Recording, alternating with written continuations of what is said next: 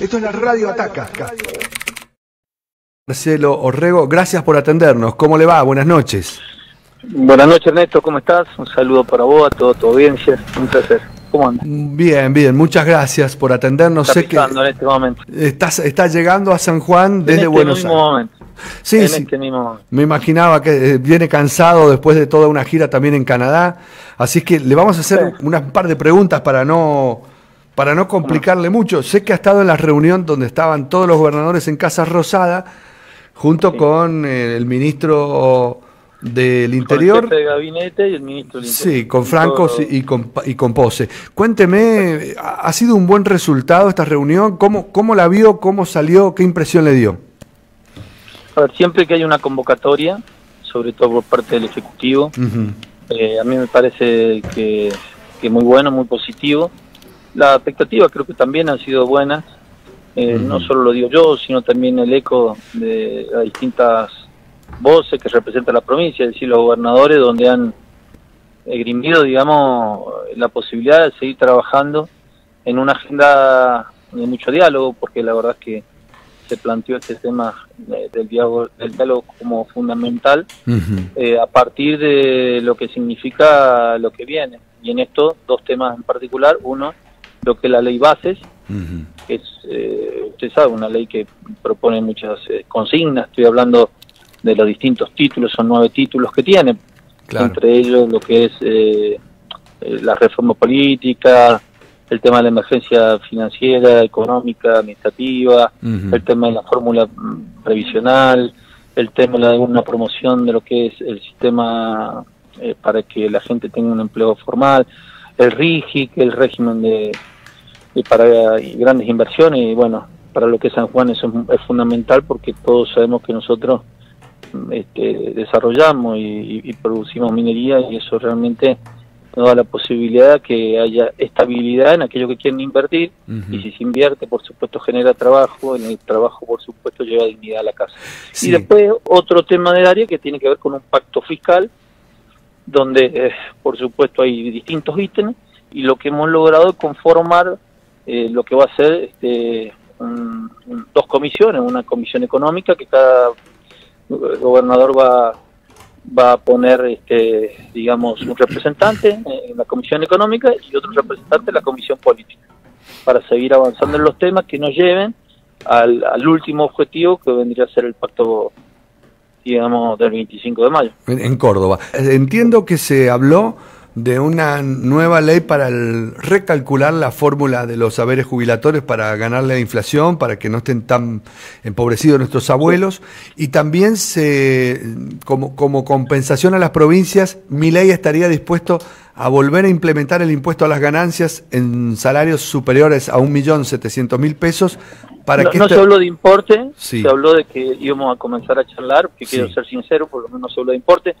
Yo por ahí ha salido en un medio que me había retirado un rato antes y es cierto porque se me iba el avión, Claro. un avión de línea, Claro. y bueno, por supuesto con la anuencia y ya le había pedido eh, disculpa y, y- y- y a ver si pues, ya habían pasado dos horas y media y la verdad me dijo sí, quédate tranquilo, más, más vale que sí. Después, pero hasta el momento y después después que he hablado con otro recién, apenas bajé con, con que he visto, no no había digamos un mínimo no imponible, Ah, lo veremos Claro. en el tiempo. Por eso está la comisión económica para que Claro. se empiecen a bueno, desarrollar los temas. esti- estimativamente, claro, claro. Claro, es que hay muchos casos que yo le explico. Hay- hay- en el caso de San Juan, el mínimo no disponible de la cuarta categoría eh, beneficia a 9.500 trabajadores, pero impacta en 830.000 sanjuaninos. Ujú. Es muy distinto lo que pasa con, con los gobernadores de la Patagonia, los gobernadores del norte, de la zona centro, tenemos una, un- una realidad y por ahí lo de la Patagonia es distinto porque tienen otra realidad.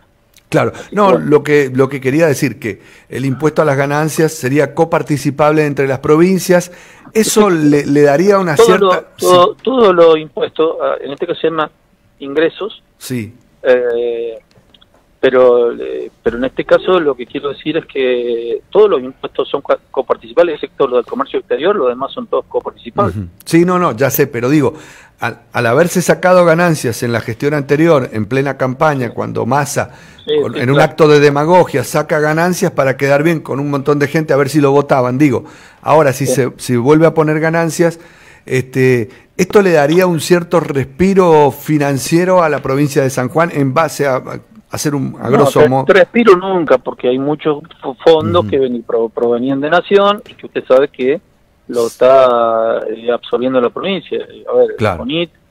eh, que la verdad que son millones y millones, cientos de millones de pesos. Y conectividad. Eh, claro, FONIT y conectividad, después también el tema de lo que sucede transporte. con el tema del, exactamente, con, con el subsidio del transporte, mucho dinero.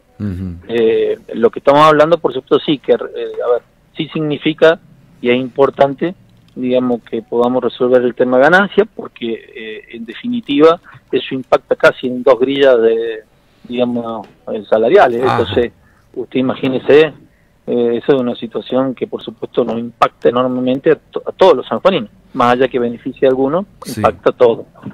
Porque evidentemente no te da la certidumbre poder tomar decisiones y contar con mucho menos dinero, sumarle todo lo que está absorbiendo la provincia, que por ahí nación en esto el tema de llegar al equilibrio fiscal te afecta. Claro. se habló sobre, lo, último que le quiero preguntar, sé que está este, corto de tiempo, gobernador, pero le quería preguntar, se habló sobre la desaceleración de la inflación, como que aparentemente la macroeconomía estaría respondiendo y eso le daría algo de tranquilidad también un poco a los ciudadanos, ¿se conversó eso? No, se habló solamente en la primera parte de la conversación de la situación económica y financiera que vive actualmente la Argentina. Se habló de lo, obviamente, para poder hablar de esto, un poco que habla del pasado y lo que está aconteciendo en el presente. Y evidentemente, ellos mostraban algunos números que, por supuesto, condicen, digamos, con que está bajando de a poco la inflación. Bueno, todos sabemos que, que si bien baja la inflación, pero lo cierto es que hay recesión. Si hay recesión, es porque hay menos actividad y a la recesión lo que hace es que justamente haya menos recaudación. Entonces, es todo un combo de situación. Que todo, a ver, eh, eh, igual yo cerebro eh, la convocatoria, a mí me parece que los 10 puntos, digamos, va los 10 puntos, sobre todo en estos puntos, ley de base y, y el tema de lo que es, el paquete el paquete fiscal, hay que observarlo bien, pero me parece, a ver, yo veo con buenos ojos que podamos tratar este tipo de, temas que se pueda dialogar, charlar y, bueno, tratar de buscar puntos de conexión. Pero en lo general, usted sabe que lo que fue la ley base, que le habla, acompañó al gobierno porque creo que hay que darle herramientas a quienes gobiernan para poder gobernar. ¿Usted confirmó su presencia en Córdoba el 25 de mayo para firmar el pacto? Nadie ha confirmado nada hasta ahora, pero por supuesto a mí me encantaría estar y con mucho gusto voy a estar porque yo creo que también eh, mucho tiene que ver que va a suceder con la ley base y qué va a hacer luego con con el, con el paquete fiscal. Pero yo estoy convencido que, que, que, que para mí es, fundamental llamar al diálogo y a mí me encantaría poder estar en, este, el 25 de mayo, en, este caso en Córdoba. Y no solo yo, espero que estemos todos, los 23 gobernadores y el jefe de la Ciudad de Buenos Aires. Gobernador Orrego, muchísimas gracias por estos minutos en la radio Ataca y, bueno, eh, estaremos atentos a todo lo que siga sucediendo. Muchas gracias. No, al contrario, muchísimas gracias a vos, siempre Ernesto, a vos, a tu equipo y bueno, a tu disposición. Gracias. Hasta otro momento, gracias. Ahí estaba el gobernador Marcelo Orrego contando recién salido, porque claro, salió temprano de la reunión en Casa Rosada con los gobernadores y Francos, el ministro del Interior, y Pose, el jefe de gabinete, es decir, gobierno nacional con los gobernadores en Casa Rosada. Salió a las 7 de la tarde, más o menos, seis y pico, se tomó el avión, recién bajando del avión y conversando con la radio Ataca. Eh, en estos minutos que pudimos hablar y entender un poco, que nos contó un poco qué se habló y qué, y qué pasó en la reunión. Así es que estuvo bueno como información porque este, todos queríamos saber desde el punto de vista de un gobernador qué había sucedido en esta reunión que tardó, eh, duró cuatro horas, ¿eh? y en donde se está hablando, se está intentando acordar entre gobierno, gobernadores y nación para luego ir hacia adelante en el pacto, el pacto de mayo que se firmaría en Córdoba el 25 de mayo. Por eso era importante lograr este contacto.